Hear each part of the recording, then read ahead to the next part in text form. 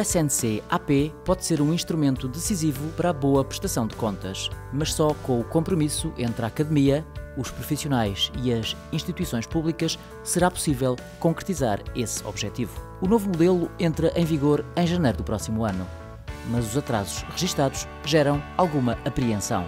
As entidades piloto devendo estar a implementar o modelo este ano, enquanto entidades piloto, estamos em junho e foi anunciado em maio 18 ainda o início dos trabalhos, portanto, mas como referiu, eu penso que o Pedro também pegou um bocadinho nisto, eu acho que isto nós vamos caminhando, ou seja, eh, vamos se calhar pôr em causa algumas questões da, da conformidade, eh, da oportunidade, mas vamos ter que começar. Portanto, e se calhar daqui a uns anos estamos aqui a avaliar os primeiros resultados, sendo que o caminho faz-se caminhando.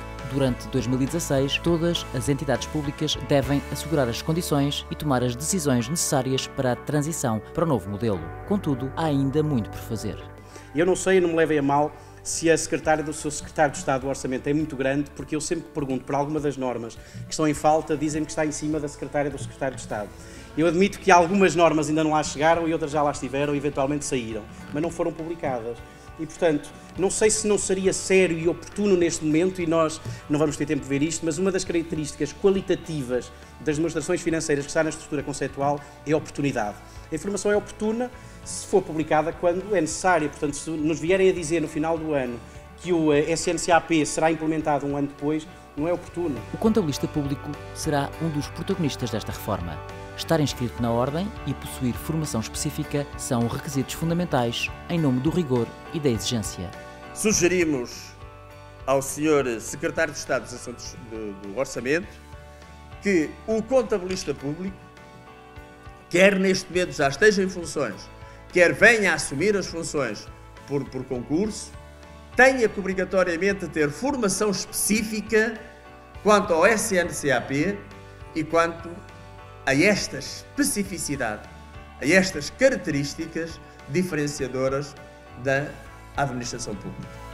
Na última metade da conferência sobre a dimensão contabilística e fiscal da boa governação, foram salientados os novos escândalos e ameaças à escala global. Esta evasão fiscal internacional, que, que está mais uma vez na ordem do dia, porque uh, não a descobrimos agora, mas uh, informações como aquelas Panama Papers chamam a atenção para a prática. Uh, este tipo de ameaça à igualdade tributária é particularmente corrosivo da legitimação do imposto. E é particularmente corrosivo da legitimação do imposto porque, ao contrário de algumas formas de evasão fiscal, que por assim dizer são democráticas, parecem estar acessíveis a quase todos os extratos de rendimento de uma população, estas estão fundamentalmente apenas acessíveis aos mais ricos. A terceira conferência, organizada em conjunto pelo IPCA e a Ordem, encheu o auditório do Centro de Investigação em Jogos Digitais do Politécnico de Barcelos.